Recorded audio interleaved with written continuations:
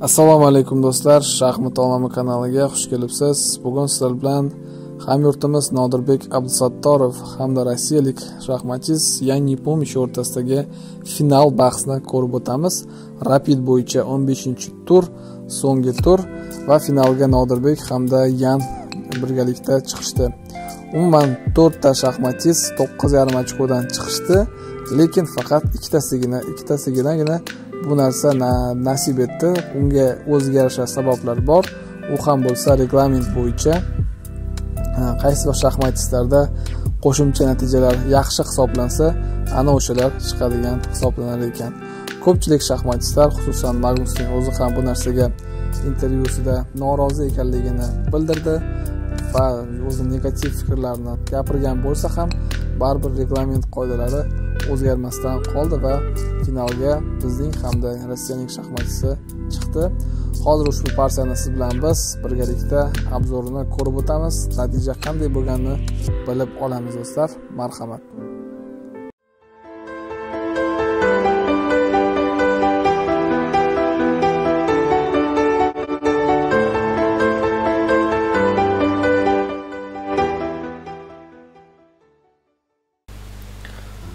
Birinchi partiya boshlandi. Yangi pumish oq figura bilan harakat qildi va bizda birinchi partiyada ispancha partiya yuzaga keldi. Ispan debyuti.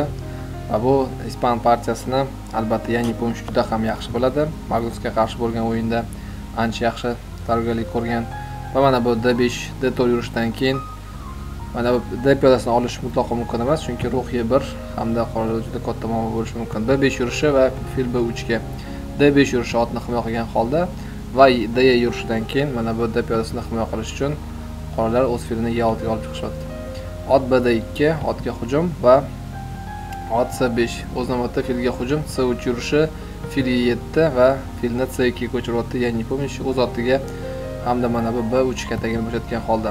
D to'rt yurishi va ot b uchga hozir mana bu piyodaga hujum qildi va o'ylab o'tilgan otni mana bu fil katagiga ko'chirishyapti ko'chirdi. Ya'ni помощь cd yurishidan dc yurishidan keyin ot c5 va fil biyot c5 dan keyin esa fil e4 ga mana bu vaziyatda biroz yuqoriroqda nimaga pромежуткda olsa bo'lmaydi mana bu e, cb yurishini deb so'rashinglar mumkin. U holda qolalar juda ham katta muammo yuzaga keladi.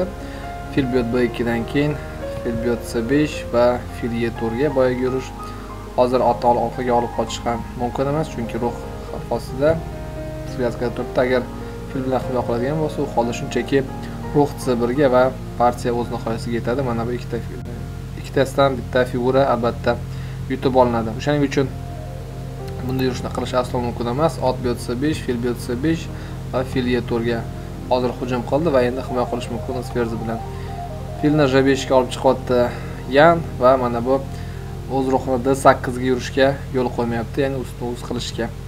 H olti yurishi.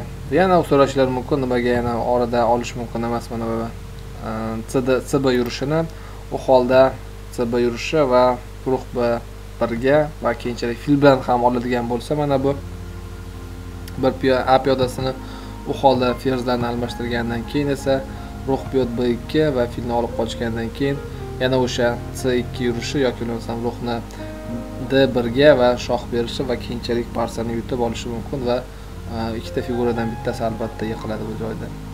O'shalar nazarda tutgan holda h olti yurishni qilyapti nodirbek va ferc ikki. Filni hujum ostida qoldiryapti yangi помнящий chunki bu yoqda baribir figurlarni yutib olishni albatta o'ylab topgan kombinatsiyasi bor. Va hj yurishidan keyin partiyada ruhda ruh ad birga ferzni hozir olib qochish kerak va ot shunchaki yo'qotib qo'yishadi. O'shaning uchun orada ferzga hujum qilyapti nodirbek ot uzatini b tur yurgan holda fers biyotsi uch va mana vaziyatda hozir ta figura shunchaki zarba ostida turibdi qoralarda fers fil hamda ruh o'shaning uchun filni hech bo'lmasa bitta piyodaga bo'lsa ham berishga qaror qildi. Fil biyot f2 va shoh biyot f ikkidan keyin esa ot d5 ga bir yurishni o'zida uchta xavfdan qutulyapti nodirbek ham ferzni hujumidan ham mana bu filni ruhga qarab hujum qilib turganida va otni o'zi zarba ostidan olib qochyapti fer c ga e olti c olti yurishi вроде бы nodirbek pozitsiyani yaxshilab oldi e, va ot b besh va ruh h beshga otga hujum otni olib qochdi va fers a yettiga. Sekin astalik bilan partiya mana shunday tarzda davom etdi do'stlar. Fillar ham doskani tark etdi. H4 yurishi rux h6 ferzlar ham doskani tark etdi va mana bu pozitsiyaga bir keling bir nazar tashlaymiz. Hozir ustunlik e, qoralarda chunki ularni figurasida garmoniya bor partiyada juda ham yaxshi harakat qilsa albatta g'alabaga o'ynashi mumkin bemalol oqlar. A qoralarda esa biroz figuralari o'zi bilan o'zi bo'lib qolgan. Shoh esa rokirovkasiz markazda turibdi va mana bu d piyodasi ham kuchsiz hisoblanadi. Qoralarniki o'shaning uchun ustunlik albatta hozir oqlarda yanda. Jetor yurishi darhol oldinga qarab o'tyapti yan va ruh d yettidan keyin esa o'z ruhini f e birga yuryapti nepomnishi xatolikka yo'l qo'yyapti biroz noaniqlikka. Bu vaziyatda oqlar uchun albatta o'z shohini mana bu d to'rt katagiga olib kelishi va d piyodasini blok qilgan holda qoralarnikin va o'zini e piyodasini himoya qilgan holda turishi yaxshi hisoblanadi. D to'rt yurishi h5 va ruh c oltiga bu vaziyatda nodirbek ham o'z navbatida xatolikka yo'l qo'yyapti uning uchun mana bu d piyodasini d d5 ga teg yurishi va o'z piyodasini himoya qilishi hamda e piyodaga hujum qilishi to'g'ri hisoblanadi ruhlar doskani tark etdi bitta parasi va e olti yurishi. Vaziyatda endi yangi помнящий xatolikka yo'l qo'yyapti uning uchun vaziyatda to'g'ri yurish albatta g5 o'z проходной piyodani darhol paydo qilishi kerak edi. H liniyasi bo'yicha va misol uchun shohni e yetti yuradigan bo'lsa u holda h olti va piyodalar almashgandan keyin esa ruh d sakkiz ruh c birga orada pромежутокda otga hujum qilamiz va shohni chalg'itgandan keyin esa h yetti yurishi ruh h sakkiz hamda ruh h bir. Va mana bu h olti katagiga ko'chirish mumkin bo'ladi oqlar o'z ruhini va keyinchalik oltinchi liniya bo'yicha davriyni hosil qilishi mumkin. A piyodasi hozir kuchsiz ot ham qanaqadir e, связкада yutib olinishi mumkin oqlar tarafidan d piyodasi ham kuchsiz umuman pozitsiya beznadежный holatda turibdi. O'shalarni hisobga olgan holda e olti yurishni qilyapti lekin biroz albatta xatolik yo'l qo'yayotgan umuman g'alabani qo'ldan chiqaryapti desak noto'g'ri bo'lmaydi adashmasam. Va ruh d olti yurishi. Ef yurishidan keyin esa ruh shoh piyod f yetti ot j beshga va mana vaziyatda yan ruhlarni almashtirishni taklif qilyapti va taklif qilyapti va otli enshpilga o'tishni taklif bildiryapti nodirbek bunga qarshilik ko'rsatmadi va mana bu yurish vaziyatga kelganda xatolikka yo'l qo'yapti nodirbek abdusattorov o'z shohini f oltiga yurdi. Maqsad mana bir j piyodaga qarab olg'a intilish va uni yiqitish lekin a piyodasini berishga qaror qilyapti. Bu vaziyatda o'z otini bir turga yurgan holda himoyada himoyada turishi kerak edi va keyinchalik shohi bilan borishi mumkin bo'lar edi. Yan bu piyodani oldi. Olgandan keyin esa j besh yurishi mana vaziyatda endi ustunlik оценка juda ham yuqoriga baland baland bo'lib ketdi. Oqlarda va bu to'g'ri ko'rsatkich albatta.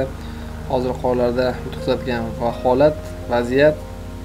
Faqatgina yan mana bu vaziyatda xatolikka yo'l qo'yyapti o'z oti bilan c yettiga ko'ryapti vaziyatda o'z shohini mana bu j uch ko'chirib hamda j piyodasini himoya qilib shunchaki iloyada turishi kerak edi va ferzova qanotda aktivroq bo'lishi kerak edi.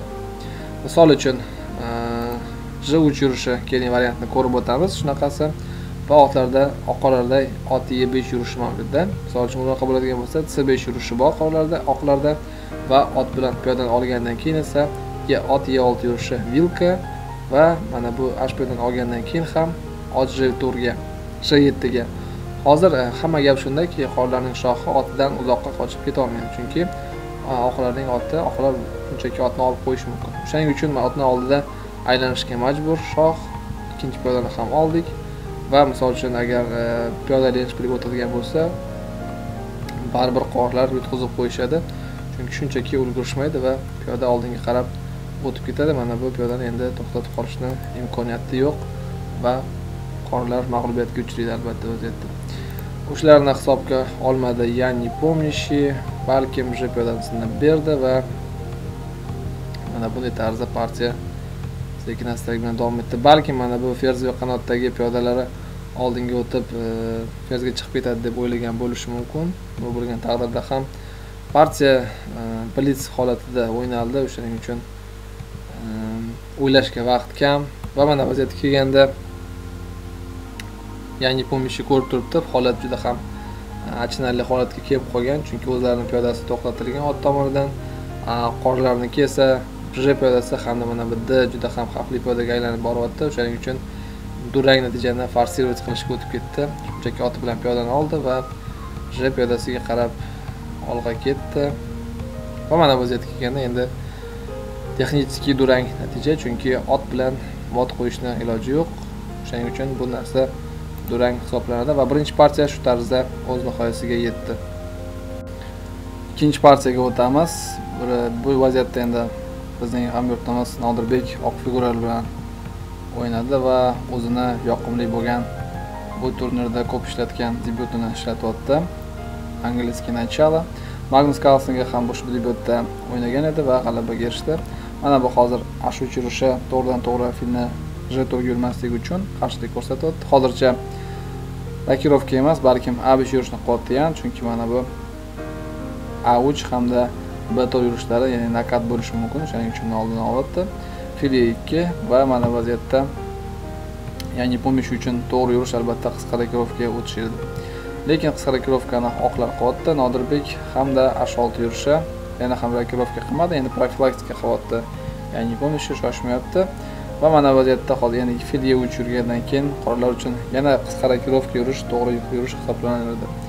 Lekin yan biroz o'yladi o'yladi va mana bu filni olishga qaror qildi.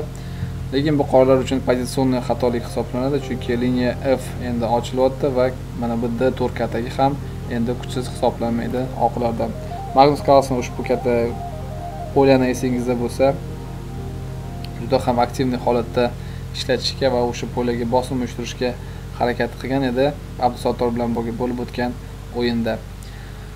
Bu vaziyatda endi piyoda f piyodasi e piyodaga e liniyasiga o'tyapti mana bu polyani to'rt katagini yopishga muvaffaq bo'lyapti hamda f liniyasi ruhlarning ishlashiga yordam beryapti qisqa rokirovka qilyapti не помощи versiya birga otga yetti va h ashturga h va oj olti. Otlarni alishtirishni taklif qildi.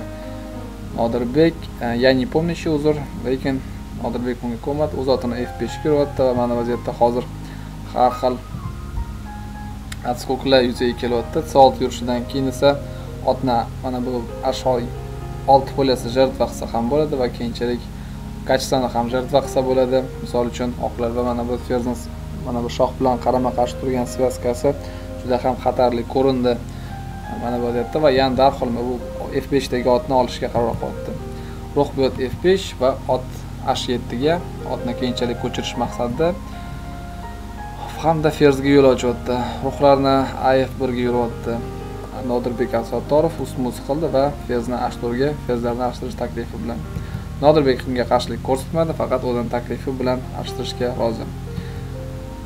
Oldik oldik va ot i7 ga ruhga hujum olib qochdik va ot j5 ga otni haydash maqsadida h4 yurishi otni e6 ga va fil j4 ot c7 va mana vaziyatda otni a4 yurgandan keyin f6 yurishi va keling mana bu pozitsiyaga biroz nazar nazar tashlab pozitsiyani baholab ko'ramiz. Hozir mana bu ikkita qora otning holatiga e'tibor berishingizni e'tibor berishingizni so'ragan bo'lardim. Sababi hozir ikkita otga juda ham shunaqangi bir holatda turibdiki passiv holatda turibdi oqlar ikkita ot hozir hech qanaqangi e, bir katakka yaxshi bir katakka bir oporaga ega emas. Chunki mana bu pollar hammasi oqlar tomonidan piyodalar tomonidan blok qilingan va mana bu ruhlarni ham ham hozir aktiv aktivizatsiya qilish imkoniyatiga ega emas. Sababi mana bu oq yurakli fil c hamda d liniyasini yoki bo'lmasam e liniyasiga ham egalik qilib turibdi. O'shaning uchun juda ham kuchli hisoblanadi va pozitsiya misol uchun qorlar o'zotini a olti katagi bilan mana bu b to'rt kataga ko'chiraman desa u hozir shunchaki a uch yurishi bo'ladi va u katagidan ham quruq qolishi mumkin va shu yoki bu tempdan berib yuborishi mumkin bo'ladi qorlar. O'shaning uchun hozir pozitsiya endi ustunlik abdusattorovga o'tib ketyapti va deb to'r yurishi darhol mana bu markazga qarab zarba beryapti piyodalarni hamda strukturasini to'g'irlash uchun. Hozir e, almashishlar bo'lgandan keyin piyoda xavf ostida o'shaning uchun himoya quvvati nodirbek ruhda ikki yurgandan keyin esa b besh yurishi. Qanaqadir bo'lsa ham qarama qarshi o'yinni qidirishga harakat qilib ko'ryapti. Не помнящи ot biyot b besh lekin bu yurish ham aniq yurish hisoblanmaydi b besh yurishni nazarda tutyapman. Ruh c birga piyodaga hujum. Qandaydir joyda va ruh ab sakkizga ot c uchga shoh f yetti va h besh yurishi mana bu j olti katagini kontrol qilish uchun otni bu yerga qo'ygan mana bu ot hattoki h olti katagini ham egallab olmoqda. Nodirbek hech qanaqangi katak qoldirmayapti otlarga. Aktivizatsiya qilish uchun va otni alishtirishga qaror qildi. Almashdik almashdik va ruhini b beshga yuryapti не помнящий ruhga hujum va piyodani himoya qilgan holda orqaga b oltiga va fil c to'rtga juda ham kuchli yurish va markazga qarab zarba berdi endi. Не помнящий d besh yurishi. Lekin bu yurishda o'ziga yarasha bo'shlik bor. Hozir buni birgalikda ko'rib o'tamiz. D yurishi bo'lyapti. Parsida va mana bu filni olishni imkoniyati yo'q chunki d sakkizdagi ruh shunchaki svязка holatida yutqazib qo'yishi mumkin bo'ladi. Oralar. Va f yurishi va keyinchalik endi ed yurishi cd yurishi va yana mana bu filni olishni imkoniyati yo'q. Yana o'sha svязка bilan bog'liq bo'lgan narsa. Va yeto yurishi svязкаdan foydalangan holda juda ham fil aktivniy holatda hozir harakat qilyapti nodirbek abdusattorovniki yangi помощи bu narsani zivo qilganga o'xshaydi o'shaning uchun o'z ruhini shohini f oltiga yuryapti va juda ham bitta ortiqcha piyodaga va kuchli проходной piyodaga ega bo'lyapti nodirbek absattorov ash piyodaga qarab hujum qilyapti не va unga qarshilik ko'rsatmayapti shunchaki e piyodasini ham almashtirib yubordi не piyodalar almashgandan keyin esa j oltiga va d olti yurishi hozirda piyodasini berishga tayyor nodirbek absattorov evaziga a piyodasini olishga va keyinchalik mana bu ikkita bir biriga bog'langan piyodani e, ega chiqish uchun va keyinchalik oldinga surib ferzga qarab intilish uchun. Lekin bunga не rozilik bildirmadi. Piyodasini oldinga va albatta nodirbek ham o'z piyodasini himoya qilish maqsadida d yettiga qarab surmoqda. Piyodani yutib olish maqsadida sekin astalik bilan shohni tortyapti lekin nodirbek bunga qarshilik ko'rsatdi. Va menda piyodani himoya qilish uchun ruhga yetdi va hujumga hujum yana himoya va shoh. Qochdik va yana shoh berish maqsadida oldinga o'tyapti не помощью hozir to'laqonli уже pozitsiya oqlar foydasiga qarab o'tib ketdi. J piyodasi ham yiqildi va shoh juda ham ayanchli holatda. Mana bu vaziyatda endi mod kombinatsiyalar sekin liniya modlar xavf solyapti qoraga sekin astalik bilan mod to'rini to'qib chiqyapti nodirbek. Yana esa unga qanaqadir bo'lsa qarshilik ko'rsatdi. Mana bu hozir d piyodasini berishga tayyor. Chunki mana bu h bir liniyasida mot xavfi xavf solib turibdi. O'shaning uchun ya'ni помощи darhol shoh berishga tushib ketdi. Shoh shoh shoh shohini iloji boricha yashirishga harakat qilyapti nodirbek absattorov ferzni chiqardi doskada va olgandan keyin esa ruh e besh yurishini zivok qilyapti olmaslikni iloji yo'q edi chunki pozitsiya shu narsani agar olmasa shunchaki ferzini o'yinga kirgizadi yoki bo'lmasam ruhni oladi va keyin yurish bilan mot o'shaning uchun olishga majbur va ruh besh yurishi ashroq ash h to'rt yurishidan keyin esa mana bu j uch yurishi va partiya o'z nihoyasiga yetdi do'stlar. Mana shunday tarzda nodirbek abdusattorov g'alabaga erishishga muvaffaq bo'lmoqda. Hozir to'g'ri qoralar o'ynash o'yinni davom ettirishi mumkin. Evaziga bitta ruhxona berishga to'g'ri keladi. Mana bu bitta piyodasi oqlarning bitta piyoda evaziga va keyinchalik ikkita ruh bilan g'alabaga erishish nodirbek absattorovga muammo tug'dirmaydi. O'sha sabablarga ko'ra yangi pomishi o'z mag'lubiyatini tan oldi va raqibini tabrikladi g'alaba bilan.